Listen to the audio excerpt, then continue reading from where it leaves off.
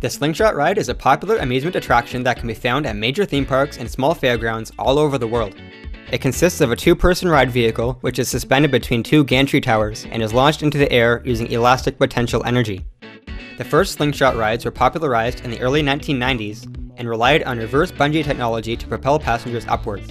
These rides used elastic ropes to connect the ride vehicle to the towers. The ropes would then be tensioned with the vehicle being held in place on the ground and the vehicle will then be released, launching riders in a similar fashion to an actual slingshot. These reverse bungee rides can still be found in operation today, and they are popular among traveling carnivals due to their simple technology and ease of transportation. The safety of these rides can be questionable, however, and a number of accidents have been reported over the years, some of which resulted in the deaths of passengers.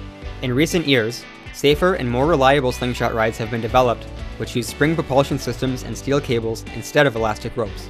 An example of this modern propulsion technology can be found in Cedar Point Slingshot, which launches riders to a height of 110 meters at a maximum speed of 100 kilometers per hour.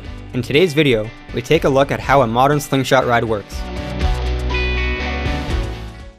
To begin, let's take a look at the main components of the ride. First, we have two steel gantry towers which are angled outward from the central launch platform. The towers are angled in this way to help transfer horizontal forces from the cables to the ground. Next, we have the ride vehicle and docking station, which are located at ground level between the two gantries. Two steel cables connect to each side of the vehicle for a total of four cables supporting the vehicle and the passengers. The cables pass over pulleys at the top of the gantry towers and extend towards the ground inside the towers. The cables then connect to the spring propulsion system, which is housed inside a 5 meter tall steel frame. Let's take a closer look at the components of the propulsion system, and then we'll see how it works. Inside the frame, there are two large steel plates as shown here in red. These plates can be moved up or down using hydraulic cylinders. The plates are connected together using as many as 720 extension springs. Only four springs have been shown here for simplicity. A series of reduction pulleys are attached to the underside of the bottom plate, as well as to the bottom of the frame. Only five pulleys have been shown here, but in reality, the ride would have around 64 pulleys, with half of them being used for each pair of cables connected to the ride vehicle. The exact number of pulleys depends on the height of the ride as we will see later. The steel cables enter the frame, either from above or from below, and weave through the pulleys before being fastened to the frame. Now let's see how this propulsion system works by examining the launch process.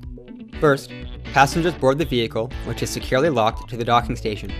During this time, both steel plates are at their lowest positions, and the springs are relaxed, with no force being transferred to the steel cables.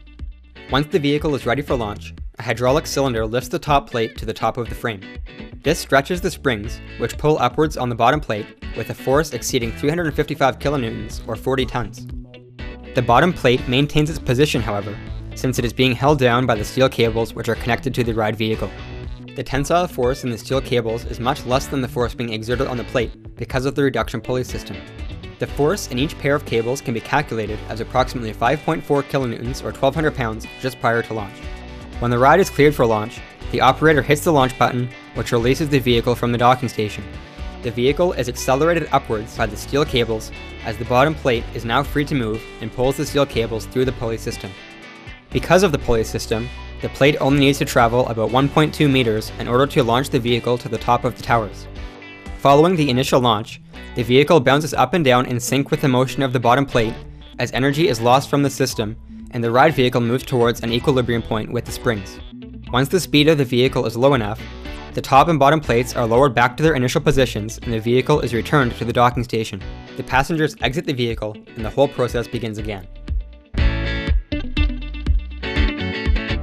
The Slingshot ride is one of the most thrilling attractions that you can find at an amusement park today, and with new propulsion technology, it is also much safer than the previous reverse bungee designs.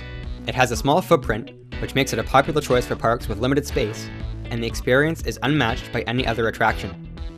Now that you know how a modern slingshot ride works, would you ever consider riding one? Let us know in the comments below. Or, if you've already been on one, tell us about your experience. Please send us a like if you enjoyed this video, and hit the subscribe button to stay up to date with future content. Thanks for watching.